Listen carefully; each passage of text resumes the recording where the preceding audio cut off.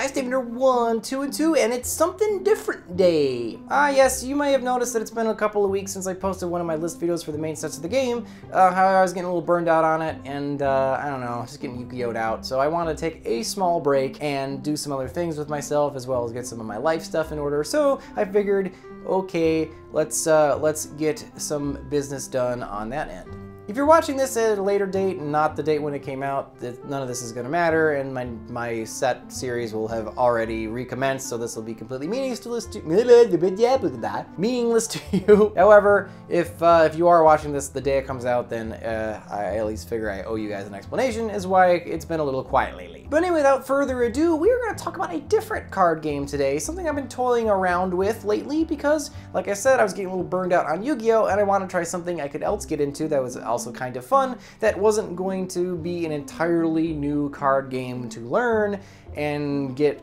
back catalogs of cards and be really a giant pain in the butt. And that game is Keyforge. Keyforge is a game created by the creator of Magic, Richard Garfield. And the way the game works actually ends up feeling a lot like Magic, and it gives you this feeling that the guy, you know, Frankenstein his own creation and was like, oh man, I've now come to regret my creation and the problems that ensued, so I'm going to make a new one and it's gonna be better with blackjack, and hookers. And out of that came Keyforge. In this video, we're gonna kind of do a quick glance over how the game kind of works and, and a, a, very, very brief and how to actually play it so you guys understand what I'm talking about. But it's not gonna be in-depth actually how to learn to play Keyforge video because frankly, uh, if you guys want me to do that, I will do that in a separate video when I don't actually have to give you an introduction to the game as a whole. So the first part's gonna be what is it, why it's unique, and why anyone would care about it, how to play, and then we're gonna do some cons and some pros to the game, why you might want to pick it up. First of all, what is Keyforge? Well, to call it a trading card game would probably be incorrect because 100% it is not. It is a card game. You use cards, you play against an opponent, like you duel them like you do in Yu-Gi-Oh! or Magic or Pokemon, but trading, unless you're trading an entire deck for another entire deck, doesn't work in this game. Now you might ask, how the hell is that even possible? And that is because this is a unique deck game. The gimmick with Keyforge is that every single deck in this game is pre-constructed. You buy them out of booster packs. They are 36 cards plus one Archon card. Archon is basically you as the player. It's like your avatar card. And your Archon has a unique procedurally generated name on his card as well as the back of every other card in the deck. So uh, you can't mix cards between decks because your Archon's deck is his deck, it's his only deck, and there is no other Archon in existence with the Archon's name that you have. It's completely unique to you. As well as your Archon being completely unique, the 36 cards that actually makes up your main deck are also a random 36 card assortment. Meaning, even though there's only 320 cards in the first set of the game, the only set that we have right now, everyone's deck is still unique to that deck because that's only 36 cards out of 320 and a 36 card random assortment is will always be different. There's a bajillion combinations you can do with that number. So everyone's deck is unique in our Archon and deck list. MSRP for a Keyforge deck is $10. Well, uh, just, I'm gonna put that out right now. I'm not gonna comment on it. I'm just gonna refer to it later. This is an extremely, extremely strange way to, to basically base a game around of. However, it eliminates the meta gaming of it so that everyone's playing some weird random janky deck. So everyone's, everyone's deck's pretty much on the same level. So it really comes down to the skill of the player, not the wallet. So how do you play Keyforge? Well, the basic rules of Keyforge are you need to win by forging keys. Go Go figure. How do you forge a key? Well, at the start of your turn, if you have six amber, you can spend that six amber to forge a key. All right, well then what's amber?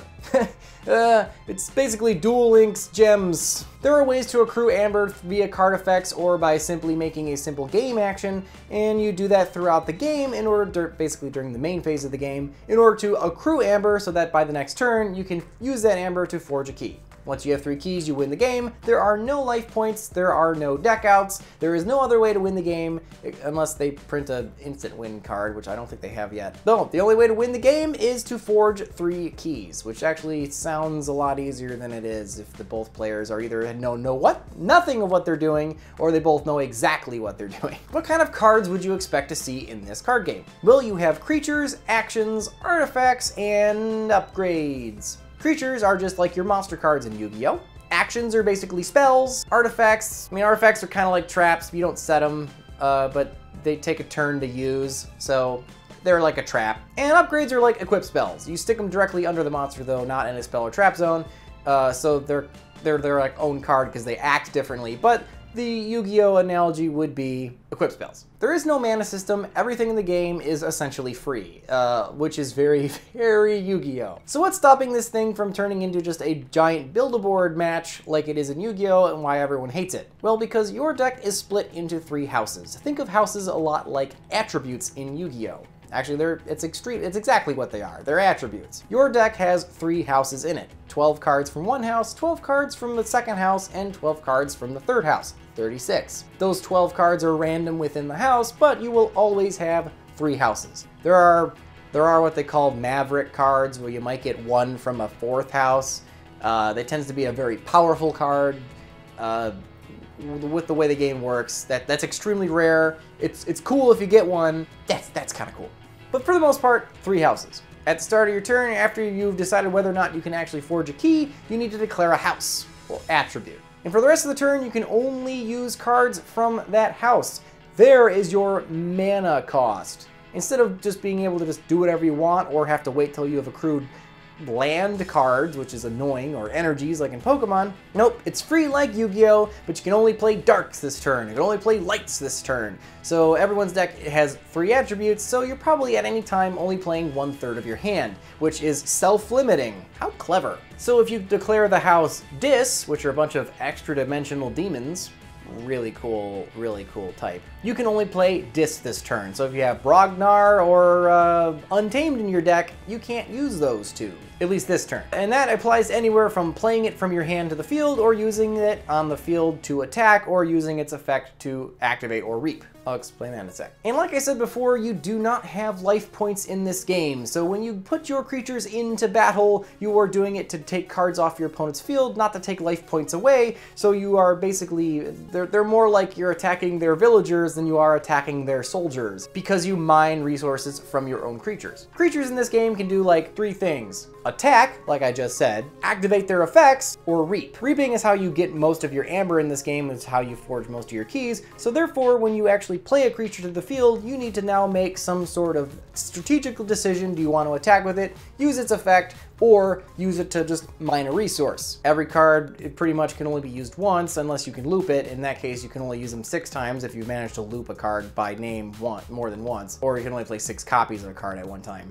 Again, self-limiting. And that's pretty much how the game uh, the game proceeds. You always have six cards in your hand at the start of your turn unless something has told you not to because you draw at the end of your turn. Isn't that You draw at the end of your turn and you always replenish your hand. You cannot deck out. If you deck out, you just put your discard pile into your deck and shuffle it and continue play. So your win condition is to make keys and gather resources. It's kind of more of a chill card game. It's less aggressive because battle is more of a strategic decision and less of a requirement as it is in like something like Yu-Gi-Oh! or Pokemon, which is like the whole point of Pokemon. It's a Pokemon battle. So obviously Keyforge is a very strange game. You are locked into a 36 card deck you have no control over. It would be illegal for you to have control over it. You need to make best with what you have and at the end of the day it doesn't play like any other card game at all because it's about how much can you get, not how much can you dish out. And with this really weird thing comes a few cons. Con number one is there is no deck building, meaning, like I said before, so that there's really no way of improving a deck